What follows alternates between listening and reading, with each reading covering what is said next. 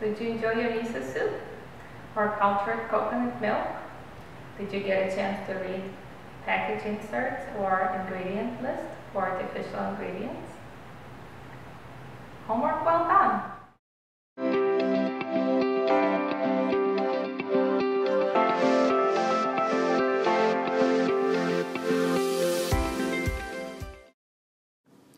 We are now better cleansed, rehydrated, fortified with naturally occurring probiotics, and way, way cleaner than before.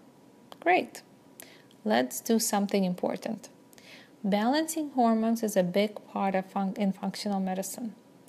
Let's eat those great foods that will help you balance hormones. In order to understand hormones better, you could take a look at this chart.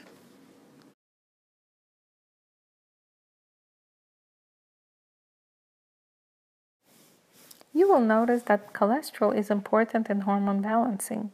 Today, we are talking about good cholesterol intake. That's a must. So, what foods generally have good cholesterol and what foods generally help with balancing hormones?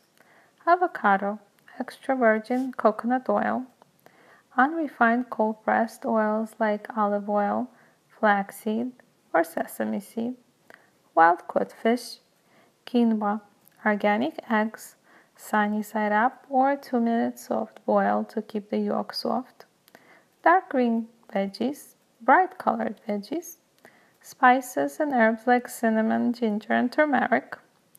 So get to love your hormones and start balancing them with some wonderful and delicious foods. The second part for this week is to do a light GI and colon cleanse. You can do that by adding great natural antiseptic foods like oregano oil, turmeric, onion, garlic, raw pumpkin seeds, cloves, extra virgin coconut oil, apple cider vinegar, thyme, green onions, raw carrot juice, pomegranate, and horseradish. How much is enough? Since this is only a quick fix four week recharge program, you want to make sure that you eat at least one to two servings of the above mentioned foods daily for the remaining of the four weeks. Your homework this week is to balance your hormones with healthful oils and oil based foods. Also, to cleanse your gut with antiseptic like foods. Till next week, my energetic group. I'm Inna from Real Health Solutions, wishing you a happier and healthier you.